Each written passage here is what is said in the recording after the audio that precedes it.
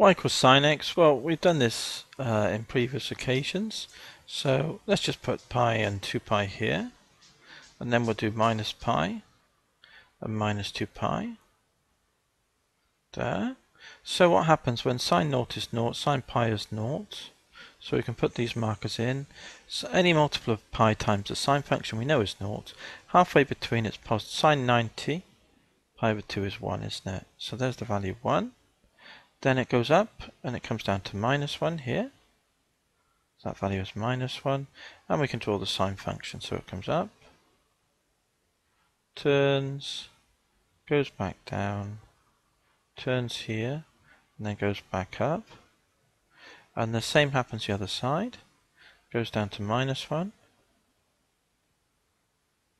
Turns, and then goes back up to 1 and then back to zero. So let's draw that in. There we go. So there's the curve then. It goes up and follows this cyclical pattern. There we go.